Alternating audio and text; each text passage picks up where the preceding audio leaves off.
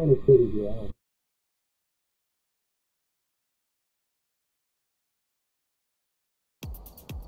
Welcome back. I've prepared some job